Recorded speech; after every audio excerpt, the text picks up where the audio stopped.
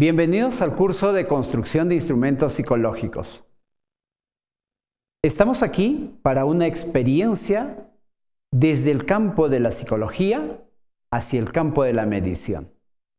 Y tendremos como elementos fundamentales dos textos. La primera, de Annie Anastasi, Pruebas psicológicas.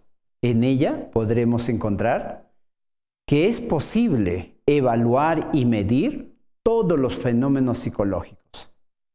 Por otro lado, tendremos a Silvia Tornimbeni como referencia, también con el texto Pruebas psicológicas, que en esta encontraremos, por ejemplo, los diversos atributos y constructos que es posible medir. Además, recorreremos todo un camino para construir un instrumento psicométrico.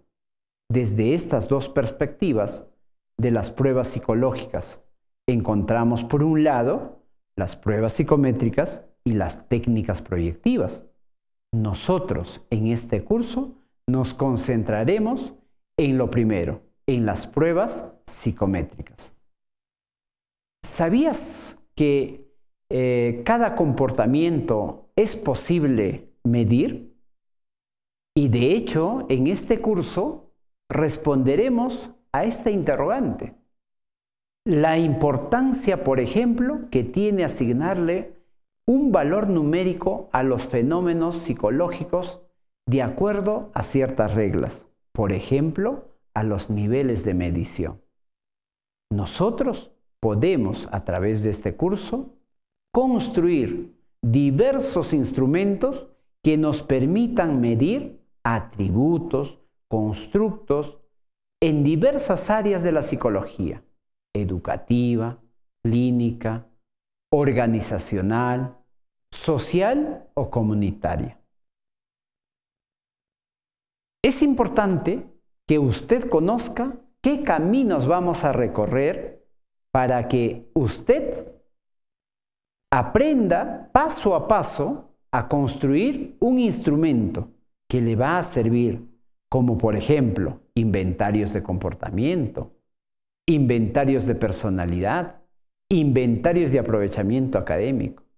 Si quieres construir para cualquiera de estas áreas, tendrás que recorrer estos pequeños caminos y te las voy a enumerar, que son en buena cuenta la etapa para etapas para construir un instrumento psicológico.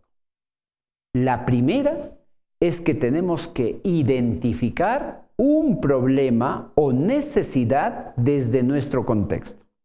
Nosotros tenemos muchas pruebas en el mercado, pero muchas de ellas son importadas, españolas, americanas, europeas, chilenas o quizás también peruanas construidas aquí en Lima pero que en muchas ocasiones no responden al contexto y a la necesidad en la que el evaluador aplica. Por ello, cuando construimos es necesario contextualizar, identificar el problema o la necesidad y a partir de ello emprender este camino de la construcción de un instrumento.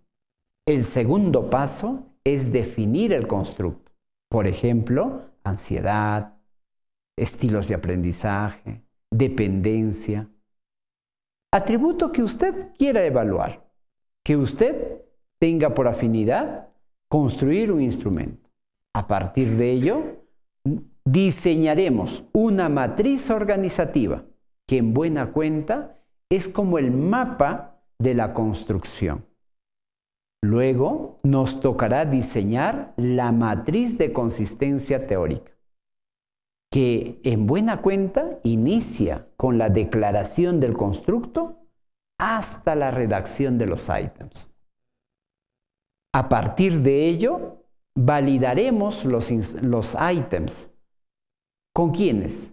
Con un juicio de expertos. Seleccionaremos jueces que nos permitan obtener la pertinencia de estos ítems con respecto a los indicadores y al constructo que evalúa. Asimismo, una vez que tengamos ya la validez de nuestros ítems por juicio de expertos, estructuraremos la prueba piloto y por supuesto la aplicaremos en un grupo normativo. Asimismo, una vez obtenido esos datos desde la muestra normativa, analizaremos el poder discriminatorio de los ítems. Analizaremos si estos ítems discriminan adecuadamente los tipos de respuesta. Asimismo, a partir de un análisis estadístico, utilizando, por ejemplo, el programa de SPS, determinaremos el índice de confiabilidad de nuestra prueba. Como saben, podemos utilizar, por ejemplo, el estadístico de alfa de Cronbach. Luego redactaremos la tabla de baremación, que en buena cuenta son las normas de interpretación de la prueba. Diseñaremos el manual de aplicación, calificación e interpretación de la prueba.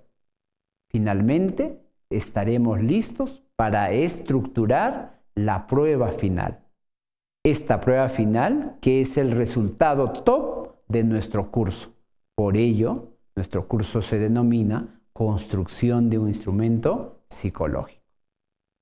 Soy el profesor Félix Rodríguez Isidro, doctor en psicología, magíster en docencia universitaria por la Universidad Mayor de San Marcos Actualmente ejerzo la docencia y soy también director de la institución educativa María Inmaculada aquí en Huancayo.